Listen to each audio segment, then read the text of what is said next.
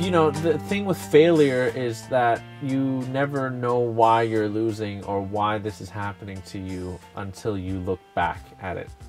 I watch a lot of Jack Ma interviews, and you know, there's a specific clip that I saw that maybe was like in the early 90s where he, he he for some reason he liked to videotape everything like from the early meetings that he had.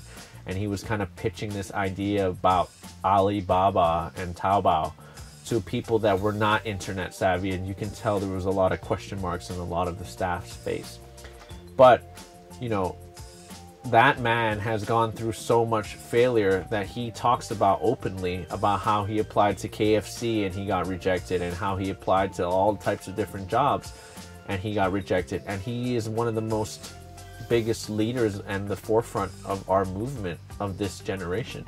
And I think that you look at that and you look at Steve Jobs how he got kicked out of his own company. Can you imagine like how crazy that must have felt and then just to come back and rejoin it years later and create the best gadget of the world, the iPhone.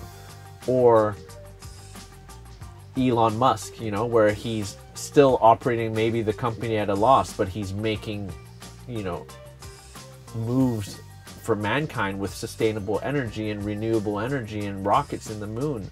So I think that, you know, my failure is probably not as big as theirs but I do remember when I first, you know, organized Kanye West in concert in Hong Kong, and I really wanted to do it for the society, and like, oh, I'm, this is my opportunity to bring music or hip hop to a wider audience. And at the end, you know, the the project lost money, and I was like, ah, oh, like how could this be? Because I spent so much time and effort into doing this, but it just wasn't as ideal on ticket sales as I wanted it to be and you know you could take failure one or two ways. You can either just close up and just close up shop or you can continue and use that as momentum for your next project.